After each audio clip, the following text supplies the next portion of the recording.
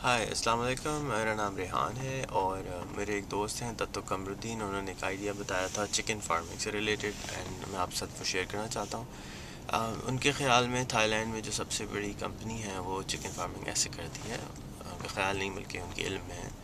वो उसका तरीका यह है कि एक कोई भी कंपनी एक बनाई जाती है, उसके बाद वो छोटे इलाकों में जाके लोगों को चिकन जो चूज़े होते हैं, वो देते हैं।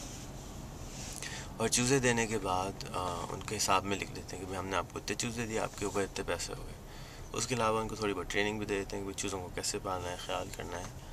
आ, उसके बाद वीकली उनका आदमी जाता है वहाँ पर चूज़ों के लिए खाना देता है उनको उनकी चेकिंग करता है मेंटेन करता है। और उनके खाते में लिख देता है अभी चूज़े की इतनी इतनी फ़ीड के पैसे और हो गए।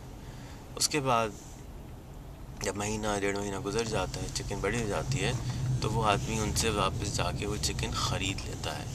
तो अब समझें कि अगर वो चिकन के ऊपर उसने इन्वेस्टमेंट की पचहत्तर रुपए की तो उनसे डेढ़ सौ रुपये की चिकन ख़रीद लेता है तो उनको पचहत्तर रुपये का प्रॉफिट हो जाता है और वो हिसाब में लिख लेते हैं कि आप कितने पैसे हो गए, वो पैसे ऊपर के दे देता है। तो इन्वेस्टमेंट तो उस आदमी की है जो चिकन के चूज़े दे रहा है फ़ीड दे रहा है बट जो लेबर कॉस्ट थी वो ज़ीरो हो गई उसकी और वो लेबर और घरों में एक्स्ट्रा इनकम भी क्रिएट हो गई।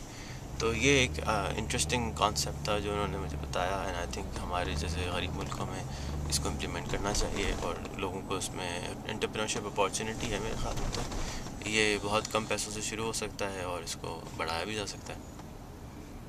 एक और ख्याल मेरा सवाल था उनसे वही था कि अगर कोई चूज़ा मर गया तो किसके किसके खाते में गया? तो उन्होंने बताया कि अगर चूज़ा मर गया तो वो फार्मर के खाते में गया और वो फिर, लेकिन और चूज़ें उनको दे देते हैं अगर वो मांगते हैं तो जाके। क्रेडिट और और धार उनके ऊपर दे देते हैं। आ, लेकिन वो इन द लॉन्ग रन वो फ़ायदेमंद उस आदमी को हो जाता है जो चूसे पाल रहा है।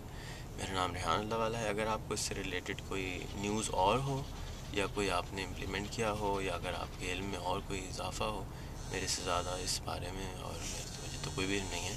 तो आप मुझे प्लीज़ ईमेल करके बता दीजिएगा या मुझे फेसबुक कर लीजिएगा। मेरा ईमेल है Rehan R E H N at R E H N dot com और फेसबुक पे नाम है R E H N space अल्लाह वाला A L L H W A L A शुक्रिया।